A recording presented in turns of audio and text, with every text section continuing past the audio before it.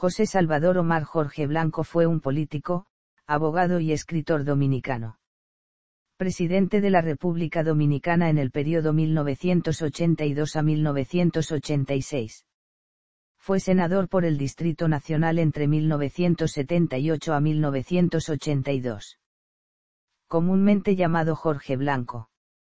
Considerado por muchos, como uno de los líderes políticos más prometedores en la República Dominicana. Sin embargo, tras una sesión de largos interrogatorios y una orden de arresto por cargos de corrupción, Jorge Blanco huyó a la Embajada de Venezuela, el 30 de abril de 1987, procurando asilo político. Jorge Blanco, ha sido el único presidente dominicano sometido a la justicia. Primeros años, estudios y trayectoria política. Jorge Blanco nació en Santiago el 5 de julio de 1926, hijo de Dilia Limbert Blanco Polanco y de Pedro María Jorge Arias. Hizo sus estudios primarios en el Colegio Ercilia Pepín, y superiores en el Liceo Ulises Francisco Espaillat. En 1950, se graduó en Derecho en la Universidad Autónoma de Santo Domingo. En 1951, obtuvo el doctorado por la Universidad Complutense de Madrid, con un posgrado en la especialidad de Derecho Internacional. Jorge Blanco fue músico, destacándose en instrumentos como el piano y violonchelo. En 1961, abrió un bufete de abogados, tras el derrocamiento de la dictadura de Rafael Trujillo, inmediatamente se inicia en la vida política, como miembro del Partido Unión Cívica Nacional. En 1963, después del golpe de Estado al presidente Juan Bosch, se unió al movimiento civil que procuraba el retorno de la constitucionalidad dominicana. En 1964, ingresó al Partido Revolucionario Dominicano, donde ocupó varios cargos en la Comisión Política y el Comité Ejecutivo Nacional del mismo. En 1965, fungió como Procurador General de la República en el gobierno de Francisco Alberto Caamaño, siendo a su vez miembro de la comisión negociadora que medió en el conflicto de la Revolución de Abril.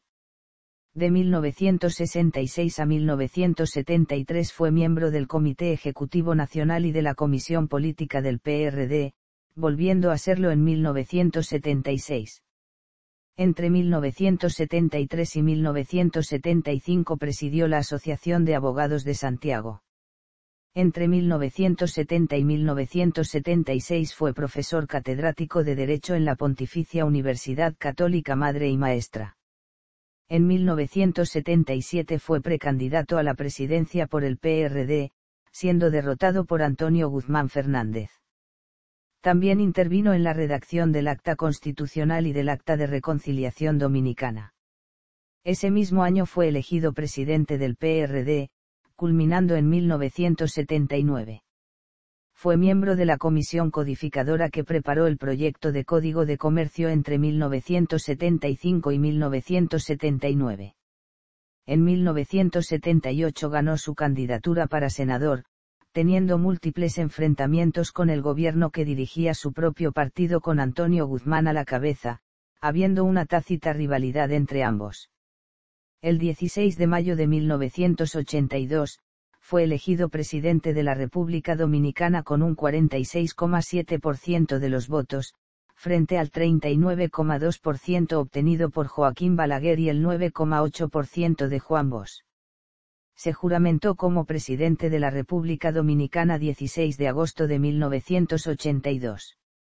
Mandato presidencial. A pesar de su afinidad política con Jorge Blanco, el mandato de Antonio Guzmán se caracterizó por mantener una amarga disputa con Blanco, quien desde el Senado llevó al partido de ambos de la oposición al poder. En el momento de la elección del mismo, se esperaba que los altos precios de los productos de primera necesidad y la alta inflación que perjudicaba al país en ese momento se aligeraran, ya que Blanco iba a gobernar con una mayoría de su partido en ambas cámaras. Sin embargo, dos acontecimientos ponen de relieve las limitaciones de Jorge Blanco y sus vicisitudes durante su mandato.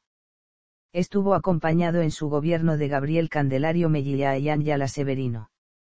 En abril de 1984, los fuertes aumentos de precios ejecutados como parte de un programa de estabilización económica aprobado por el Fondo Monetario Internacional dio lugar a disturbios masivos y decenas de muertos, en la llamada poblada de abril de 1984. Esto manchó el historial de las administraciones perredeístas en materia de derechos civiles y humanos, una de las áreas en las que el PRD había sido capaz de proyectar sus más agudas diferencias con el anterior gobierno de Balaguer. En noviembre de 1985, las primarias del partido que tenían por objeto poner de relieve el continuo compromiso del PRD con procedimientos democráticos internos para seleccionar su candidato presidencial terminó sin resultados debido a un tiroteo en el Hotel Concorde, donde se estaban contando los votos. Jorge Blanco gobernó la República Dominicana durante un periodo de dramáticas dificultades económicas impuestas en gran parte por el sistema internacional. Ese mismo año, por primera vez desde la Guerra Civil de 1965, el país experimentó tasas de crecimiento negativas. En su gobierno ocurrió el secuestro y posterior asesinato del banquero Héctor Méndez y su chofer, así como de los hermanos Patricio y Estanislao de la Cruz Gálvez. Su periodo presidencial culminó el 15 de agosto de 1986 dejando un clima hostil en la oposición acusaciones de corrupción y posterior juicio político. Jorge Blanco, al salir de la presidencia dominicana, fue acusado de desfalco por el gobierno de Joaquín Balaguer. La denuncia consistía en compras de las Fuerzas Armadas a unas empresas vinculadas a personas próximas a Jorge Blanco por valor de 25 millones de pesos, vendiéndoles bienes sobrevaluados a militares. El 7 de octubre de 1986 el abogado dominicano Marino Vinicio Castillo puso una denuncia contra Jorge Blanco y Manuel Antonio Cuervo Gómez exsecretario de las Fuerzas Armadas, acusando a ambos de malversación de fondos. El 23 de diciembre la Procuraduría General Dominicana le prohibió a Jorge Blanco salir al exterior. Fue arrestado y trasladado a la cárcel preventiva del ensanche La Fe. Una vez allí, Jorge Blanco pidió asilo político a la embajada venezolana, pero el gobierno Jaime Lusinchi rechazó su solicitud. El 8 de mayo un espasmo cardíaco llevó a su internamiento en una clínica de Santo Domingo, permitiéndole salir a los Estados Unidos para recibir tratamiento médico el 14 del mismo mes en el Emory University Hospital de Atlanta, Georgia.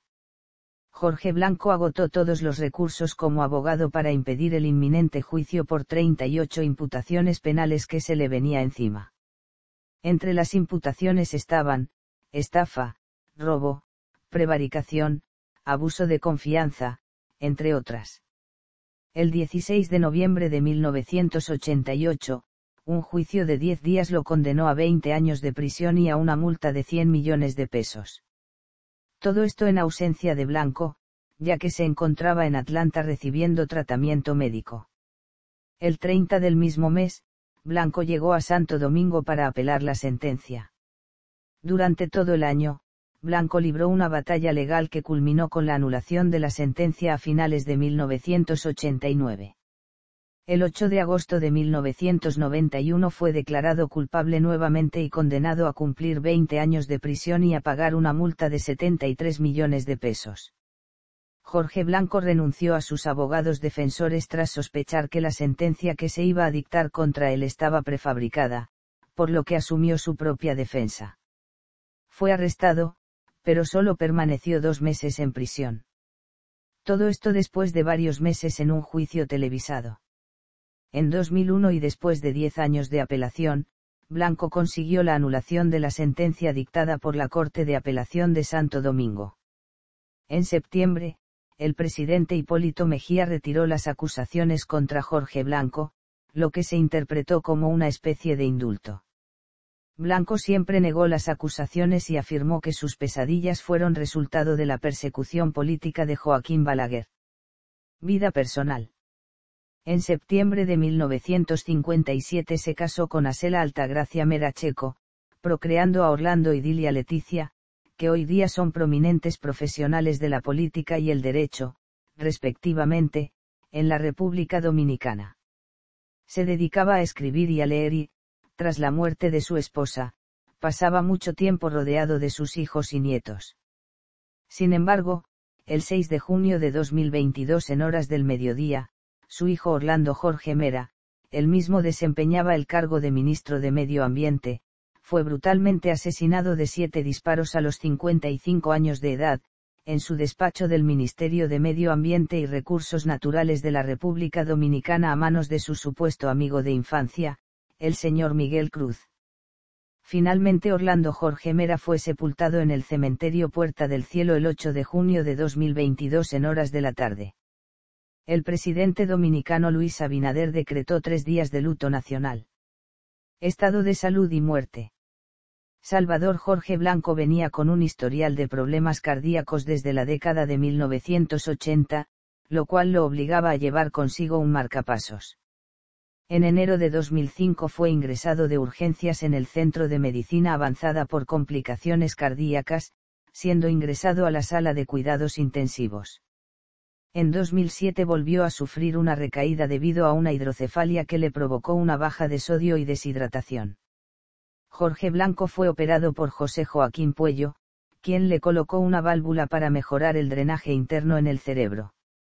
El 29 de noviembre de 2010 Jorge Blanco fue llevado de urgencias al Centro de Medicina Avanzada Dr. Abel González tras caerse de su cama y darse un fuerte golpe en la cabeza produciéndole una hemorragia interna y dejándolo en coma el 30 del mismo mes dentro de las complicaciones sufrió un paro cardíaco, siguiéndoles a este pequeños infartos, por lo que le realizaron una traqueotomía. Jorge Blanco falleció en Santo Domingo el 26 de diciembre de 2010 de un paro cardíaco, tras 37 días en estado de coma profundo.